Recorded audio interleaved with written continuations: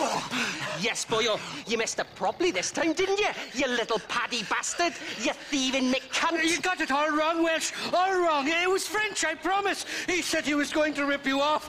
Now he's ripping me off. Here, keep on talking there, Irish. In about 15 more seconds, your whole world's gonna turn black.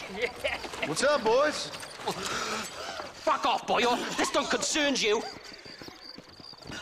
When a man with a sing-song voice tells me to fuck off, it always concerns me, boyo. Look here, this paddy bastard stole our guns, tried to steal our horses. Law's clear on the matter. I never stole nothing, sir. Never did. Not in all my life. That French cunt is playing with the Welshman's tiny and ineffective mind. Hush your mouth. Anyway, you all got horses now. No one needs to die. Leave him be. Who do you think you are, boyo? The bloody cavalry? Your voice is really starting to get on my nerves, boyo. And you're getting on my nerves. Yeah. So your mama's too busy putting blisters on her back.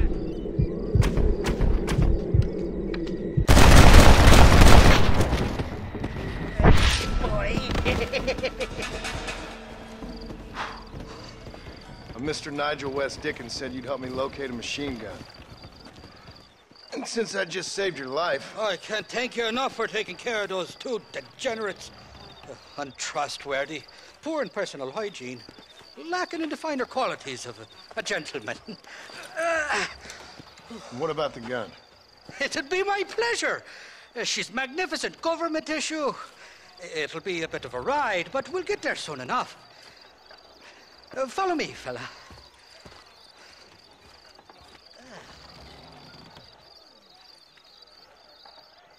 Let's get this over with. The saloon's calling me. This is turning into a hell of a day.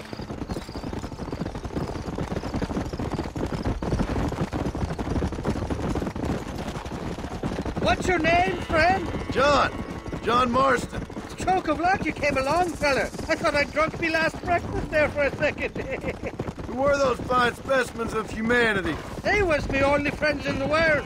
And boy, am I glad to see them bastards dead. We all met on the boat over a few years back, we did. Thick as thieves ever since, and that's right there was the problem. Is it normal for friends in Europe to drown each other? Never trust a Welshman, me pa always told me. And he got his throat slit, so he should know. The kind of fellows who will steal an acorn from a blind sow and then kick her for squealing. And as for that French bastard, He didn't sound very French.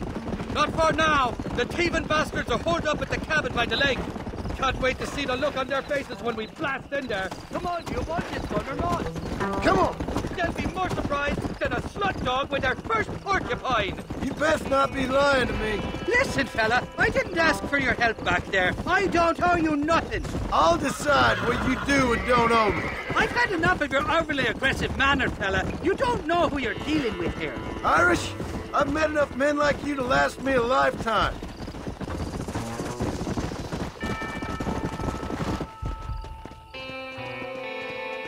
You can make quick work of those fellas if they give you trouble. The gun's stored just inside that shack. What about you helping me out? Uh, I'll cover you from the ridge. I'm better from long range. It'll be a piece of cake, fella. Trust me.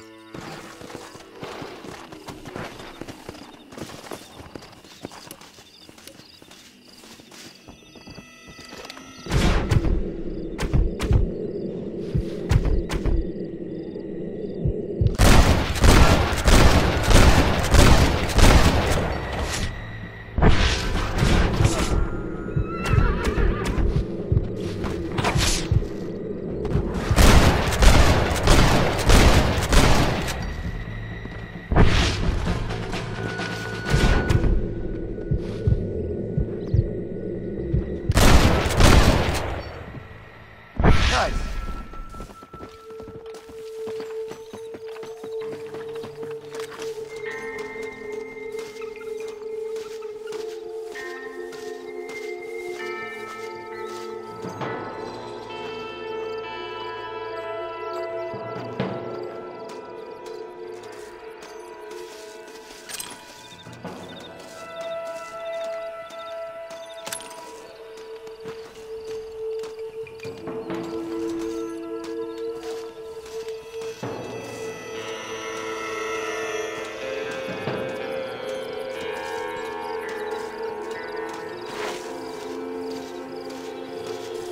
Mine now, you dumb bastard!